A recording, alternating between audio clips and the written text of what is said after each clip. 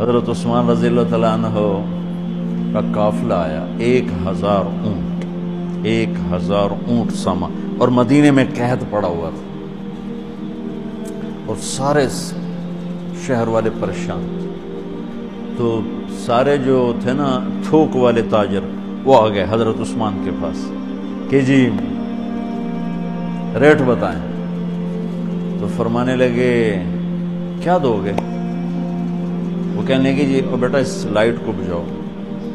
कहने लगे, जी, दस रुपए की चीज़ हम बारह में ले लेंगे तो उस्मान रज़ी अल्लाह ने फरमाया, थोड़े हैं। मुझे रेट ज़्यादा लग चुका है। अब ठीक है, ज़्यादा लगाओ।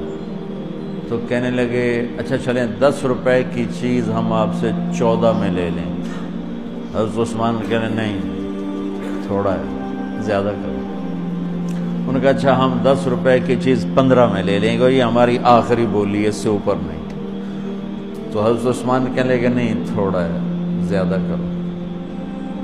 मुझे ज़्यादा लग चुका तो कहने लगे ए सारे मदीने दे स्टॉकी तो ए बैठे हुए तो तुम कौन ज़्यादा ला गया जिन्होंने जितने थोक का काम करने वाले हो तो सारे ए बैठे हुए तो ਤੁਹਾਨੂੰ ਸਾਡੇ ਕੋਲ ਪਹਿਲੇ ਕੌਣ ਰੇਟ ਲਾ ਗਿਆ ਵੀ ਅਸੀਂ ਤੁਹਾਨੂੰ 10 ਦੇ 15 दे रहे हैं ਤੁਸੀਂ ਆਦੇ नहीं ज़्यादा लग गया तो हजरत उस्मान कहने लगे तुमसे पहले ना मेरा अल्लाह आया था और वो मुझे रेट लगा गया है कि उस्मान ये तो दस रुपए की चीज़ पंद्रह में ले रहे हैं मैं तेरी एक रुपए की दस में ख़रीदूँगा कहने लगे हम समझे नहीं कहने लगे तुम्हें पता है ना मदीने में आजकल तंगी है कहत है तो मैंने हज़ार ऊँटों का सारा सामान अल्लाह के नाम पे सदका कर दिया।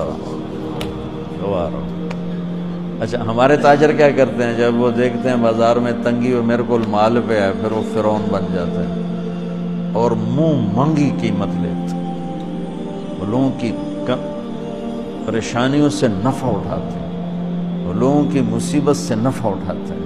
मेरा बड़ा दिल जलता है कुड़ता है। कोई बेचारा मुसलमान भाई मुसीबत में पड़ जाए, वो घर बेचने पे आ जाता है, दुकान बेचने पे आ जाता है तो सौ रुपए के घर के वो चालीस रुपए लगाते मैं मॉल टाउन ठहरा हुआ था तो सैर के लिए निकला तो मेरे साथ एक रियल स्टेट का ताजर भी था, उसी के घर ठहरा हुआ था। तो एक घर के करीब से गुजरे तो कहने लगे, मौलाना, ये घर है, आठ कनाल का है, चौबीस करोड़ है इसकी कीमत, चौबीस। लेकिन अभी इसकी सोलह से ज़्यादा कोई नहीं लग रही। मैंने कहा, क्यों?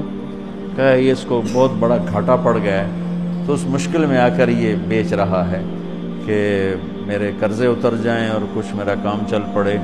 तो ऐसे मौक़ों पे लोग इंतज़ार में होते हैं और एक बहुत बड़े और बहुत बड़े अरबपति पार्टी का नाम लेकर कहने लगा कि चंद दिन पहले ही उनका फ़ोन आया था कि कोई मुर्गा तो नहीं फंसा। कोई मुर्गा तो नहीं फंसा। क्या मतलब? कि कोई मुसीबत ज़दा घर बेचता हो या फैक्ट्री बेचता हो तो लेने वाले क्या करते हैं? दाम गिरा देते हैं। वल्लाह, ये फ़िरौन हैं, ये जालिम है। मैंने कहा, अगर मेरे पास पैसे होते, मैं इसका 24 करोड़ का जो है ना, मैं 30 करोड़ में ख़रीदता, कि 24 करोड़ से कर्जा उतार था और ऊपर का 6 करोड़ ही अपने काम में लाता। लानत है उस लालच पर कि मैं मुसलमान भाई को मुसीबत में देखूँ। और फिर उसका साथी बनने की बजाय और उस पर मुसीबत डालूं तो मैं क्या करूँ? जब कौम का दीन पैसा बन जाए और कौम का मज़हब वो सिर्फ़ दुनिया की दौलत बन जाए तो फिर वो अंधे हो जाते हैं। फिर अल्लाह की नज़र में जानवर बन जाते हैं, इंसान भी नहीं होते। तो उस्मान रज़ी अल्लाह ने फरमाया कि तुम्हें पता है ना, मदीने में कहत आया हुआ है। अब तो मौका था, वो मुँह मांगी कीमत दे रहे थे। का सारा सदका, सब सदका। हज़ार। अच्छा अब हुआ क्या? ऊपर क्या हुआ? हज अब्दुल्ला ने अब्बास ने ख्वाब देखा कि अल्लाह के महबूब सल्लल्लाहु अलैहि वसल्लम हज़रत उस्मान ने ख्वाब देखा कि अल्लाह के महबूब सल्लल्लाहु अलैहि वसल्लम सफ़ेद घोड़े पर सवार हैं और कहीं जा रहे हैं।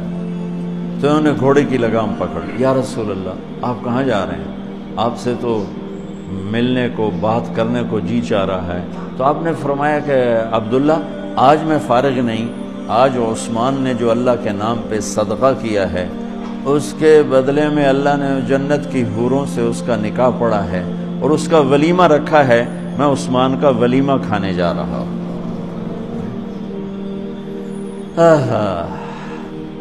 तो अब आयत उतरी मंजाबिल हसनत फलह अशर एक पे दस गुना। तो मेरे नबी कहते अल्लाह बहुत है। आपने कहा, नहीं, या अल्लाह थोड़ा है, ज़्यादा फरमा। रब जिद उम्मती। तो मेरे अल्लाह ने दूसरी आयत उतारी। मंजल्लि कौन है मुझे कर्जा दे, मैं कई गुना करके वापस करूँ? ठीक है मेरे महबूब? नहीं, या अल्लाह, जिद उम्मत, थोड़ा और ज़्यादा फरमा। अल्लाह ने कहा अच्छा चल। मसलदीन यूनफ़ून अमवालम फ़ी सबील कमसल हब्बत अम्बत सबा सनाबिल फ़ी कुल सुम्बुलतिन में तो हब्बा वल्लाफ़लमन यशा अच्छा मेरे महबूब, आपकी उम्मत की एक पर सात सौ। तो आप कहते वाह वाह वाह वाह तगली बन गई। एक पे सात सौ, कोई है कायनात में ऐसा कारोबार कि रुपए की चीज़ पर आप सात सौ रुपया नफा ले सको। है कोई दुनिया में ऐसा काम? पूरी कायनात में ऐसा काम कोई नहीं। मैं कुर्बान जाऊँ रहमतुल्लामीन ने फिर कहा, या अल्लाह, थोड़ा है, ज़रा और ज़्यादा फरमा तो खसूसी पैकेज पर यह सारा सुना रहा हूँ। तो मेरे अल्लाह ने कहा अच्छा मेरे हबीब, चल हूँ आप ज़रब छड़िए, तकसीम छड़िए, जमा छड़िए तो फिर एक सौ, दो सौ त्रै सौ, चार सौ, पाँच सौ छः सौ, सात सौ, नहीं, छोड़ दो। अजरहम बगैर हिसाब। हाँ इतनी मेरी शर्त है जो आपकी उम्मत में सब्र वाले होंगे, उनको बेहिसाब दो। खुला चेक, जो मर्ज़ी लिखना है लिख दो। सात सौ लिखो, सात सौ करोड़ लिखो, सात सौ खरब लिखो, जो लिखो, अल्लाह ताला कह रहा खुला चेक। ये इस उम्मत का मामला है अल्लाह के साथ। और अल्लाह का मामला है इस उम्मत के साथ।